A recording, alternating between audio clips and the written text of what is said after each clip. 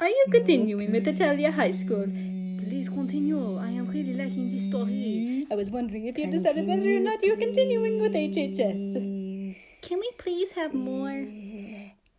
Really?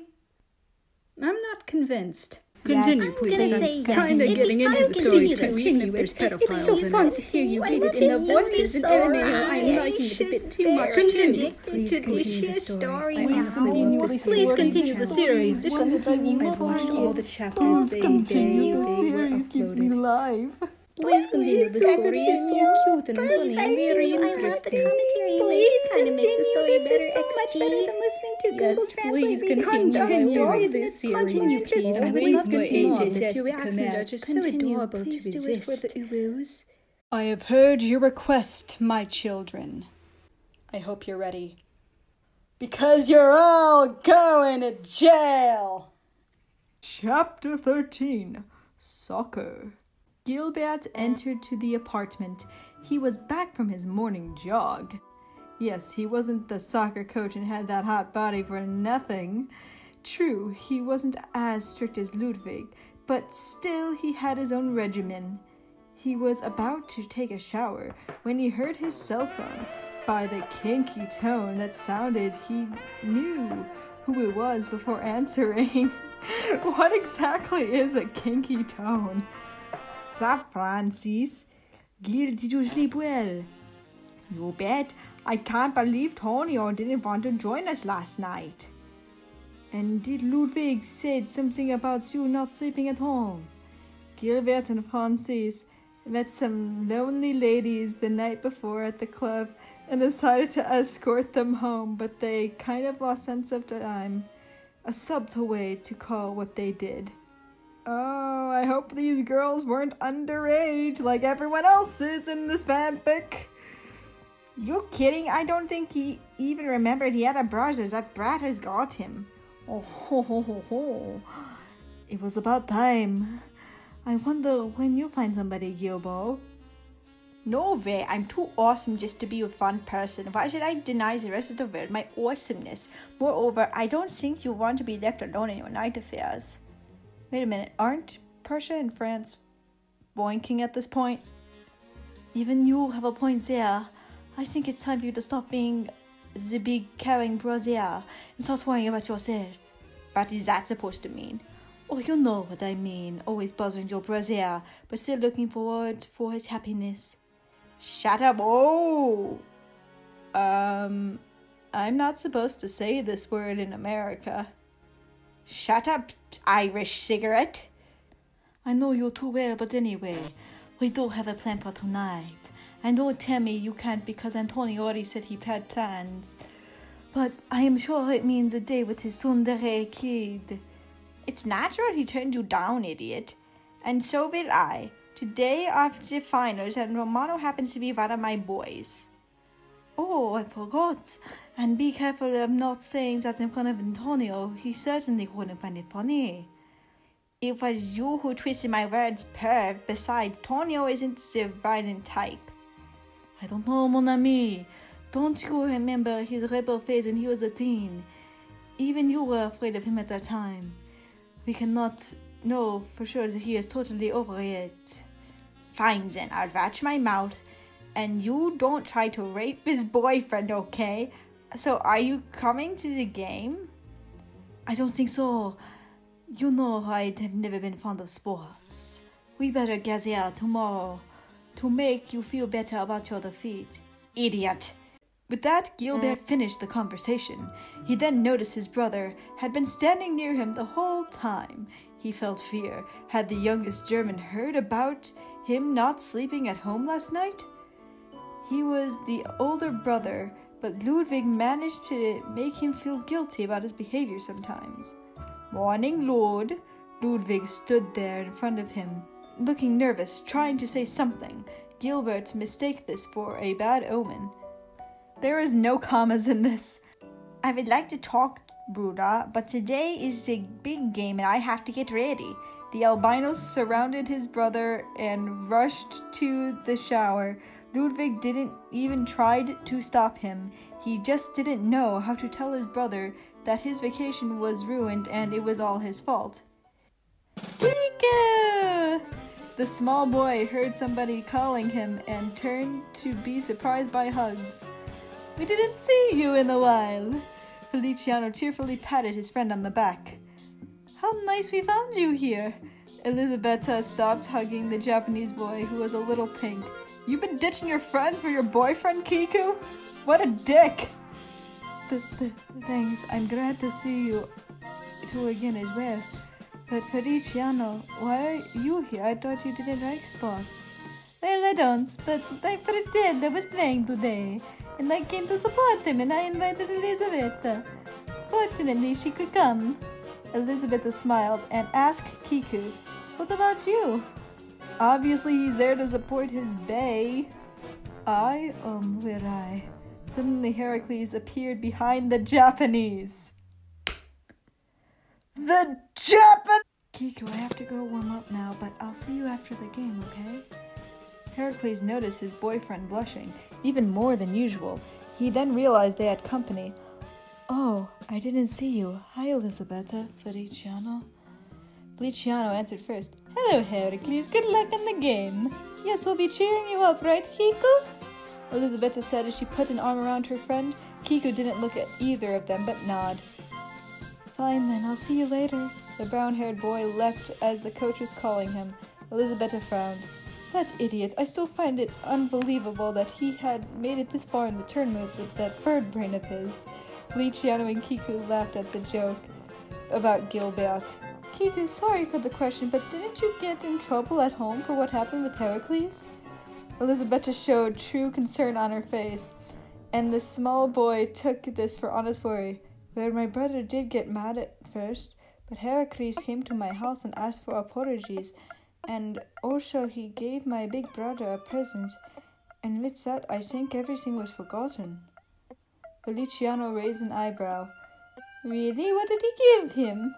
Elisabetta looked just as puzzled. Kiku took a deep breath before answering. A kitty. The two friends look at each other. What? Kiku felt awkward at trying to explain his brother's weak side, where he thought it was cute, so he forgot about everything and the problem. Oh, oh, so that's how Heracles worked his way into that side of the family. Neat. Elisabetta and Feliciano couldn't believe it, but decided not going further in the topic. Trio searched for some seats, but they found that there were no more left until Feliciano heard somebody calling him. Feli, over here! Antonio was sitting on a great spot, and it seemed there were some free seats next to him. Hello, Mr. Fernandez. Feli, I told you that. He then noticed Feli's friends behind him. Doesn't matter. Hola, chicos. Elisabetta heard everything clearly, but preferred not to say anything.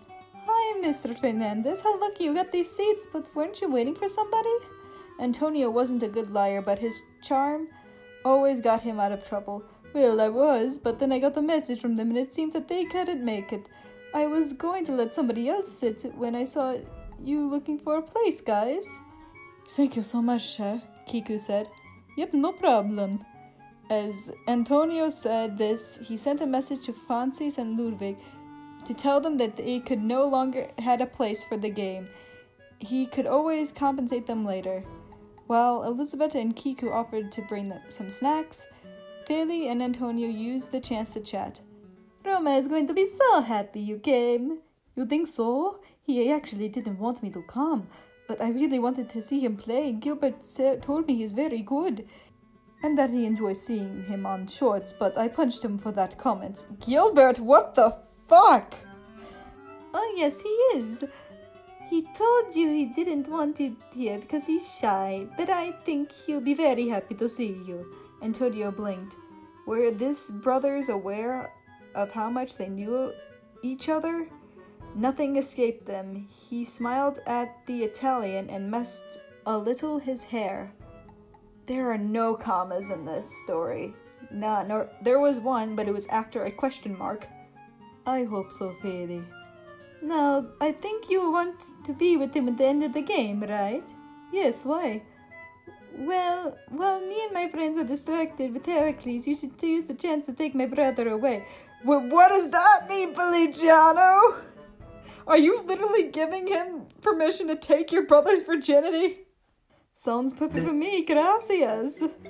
Elisabetta and Kiku came back just in time for the match to start. During the first half, Heracles and Romano proved to be the team stars. Of course they were. It's like they were in their element, not the always angry brunette or the sleepy boy. For Antonio, seeing his Romano like this had to be a gift from heaven, not a frown on the boy's face, and he could see how much the Italian was enjoying his time on the field. And besides, he recognized Romano was talented. He couldn't help but notice how appealing the boy looked, and it wasn't just him who thought this way. By the screaming of the girls around him, he could see that his Roma was very popular. and Kiku was having a great time as well. This wasn't the first time he saw Heracles playing. He had a whole collection of pictures of the Greek. He had also brought his camera today. okay, I, I like this addition. This is good. I like this. But he had to be more discreet this time as he had company. this is actually quite in character. I like this. It were now the last 15 minutes of the match, and the score was 1 1.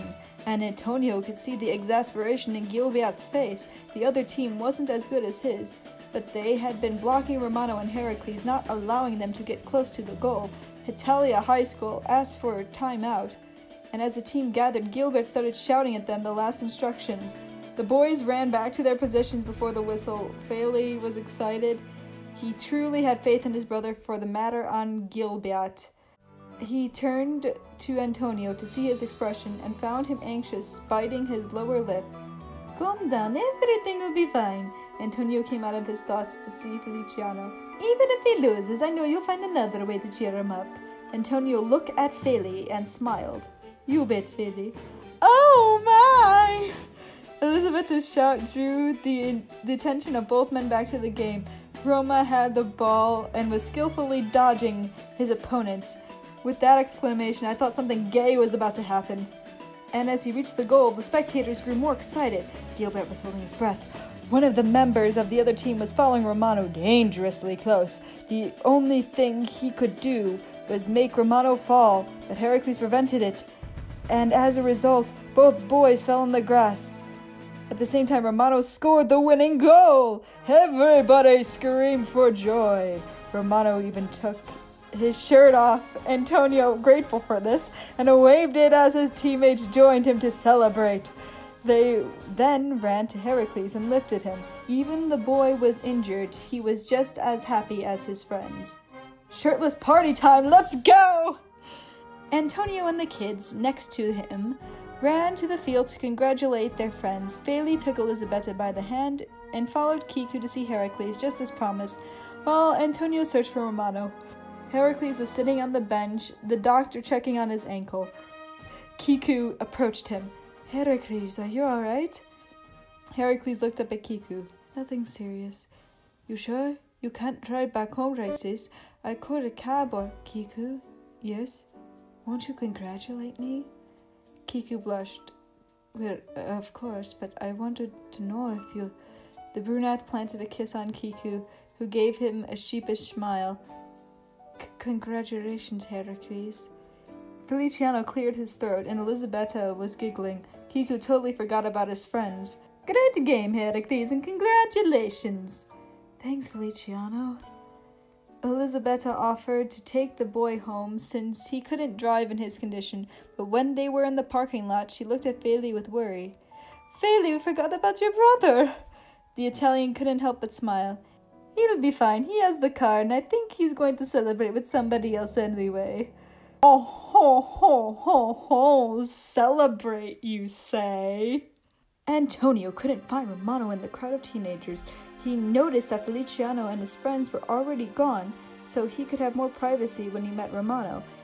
If he ever did so, he finally spotted the Italian, a group of girls around him.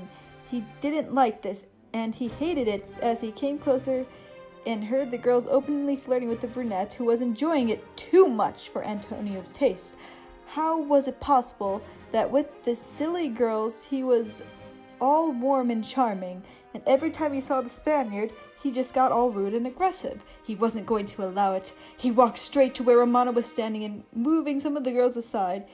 He fetched Romano by the shoulder. The Italian was about to yell when he noticed the Spanish. The Spanish! But he saw something in his face he didn't like. Was that a frown? A frown poorly hidden by a false smile.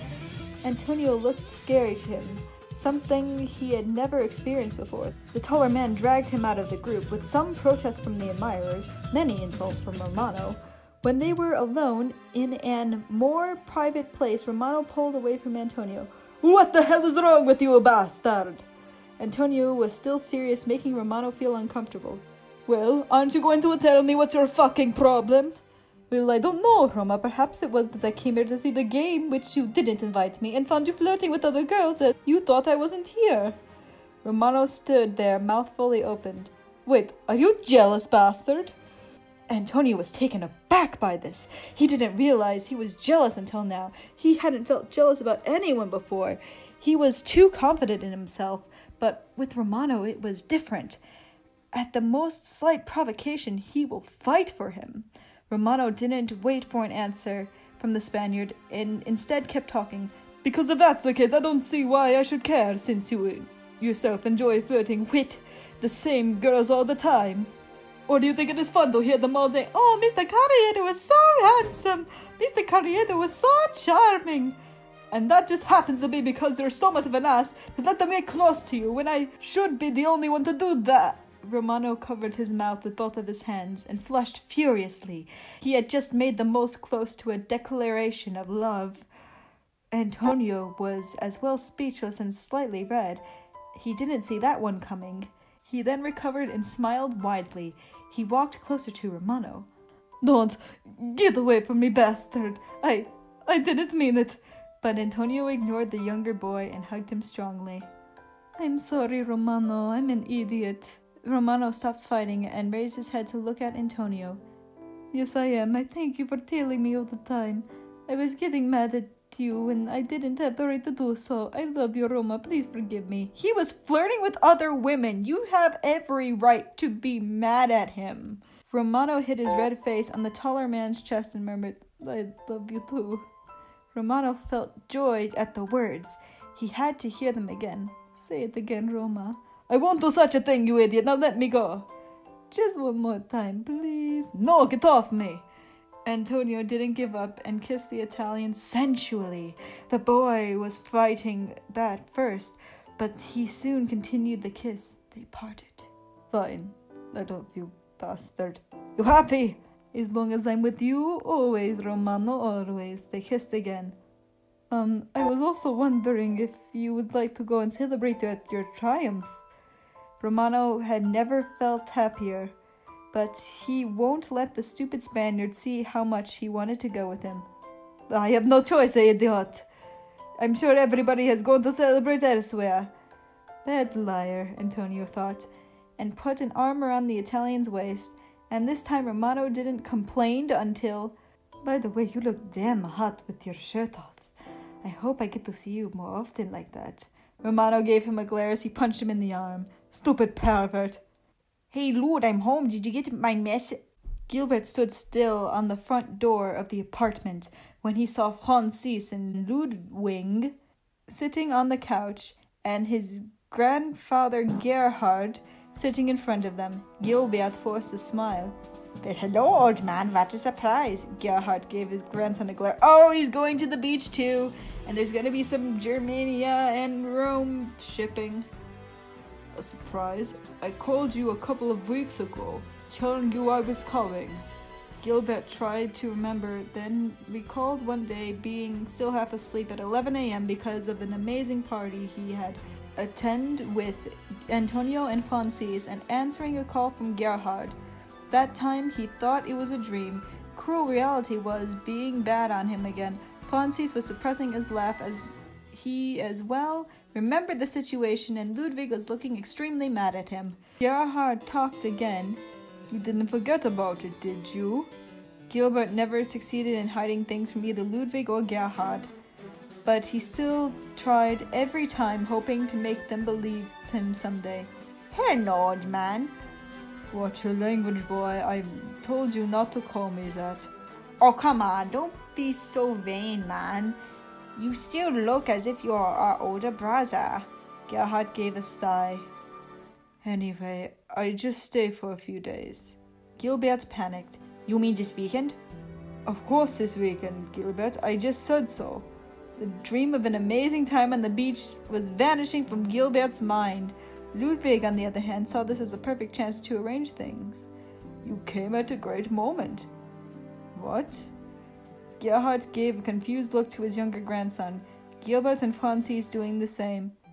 Because we? Francis and Gilbert made gestures to Ludwig to shut up. They still held the hope of going on to the trip without adult supervision, but Ludwig had something in mind. We are doing a trip to the beach. The other men fall on their places in defeat. And we invited some friends. And? Well, it turns out that grandfather is going too, and he says he's friends with you from a long time.